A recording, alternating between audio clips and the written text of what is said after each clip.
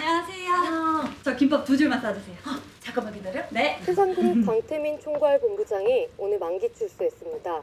작년 가을 청탁과 뇌물 공여 혐의로 징역 1년을 선고받고 복역하다가 오늘 형기를 마치고 출소했습니다.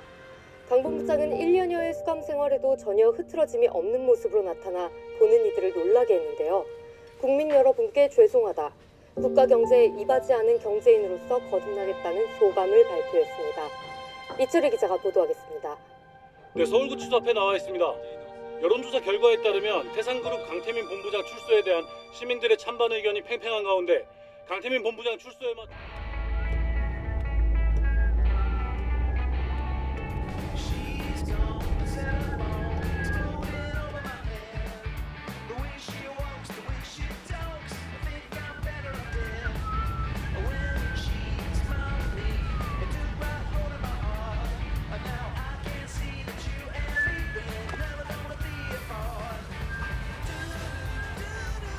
야 요도.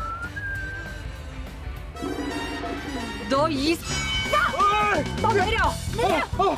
당장 내려. 너. 너차 어디서 왔어? 너 차 무슨 짓 당나 있는 거야? 너 내려. 안 내려. 자, 어 누나 하지마 하지마 나 사업 시작했단 말이야 사? 네가 또 무슨 사? 너 인당 돈으로 차부터 뽑았어? 어 아니야 이런 미친놈 아니야. 너 내려.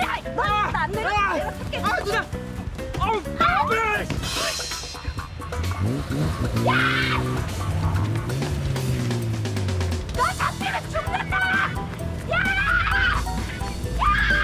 아이고 누가 선수 출신 아니랄까봐 달리기 하나는 겁나 잘해요.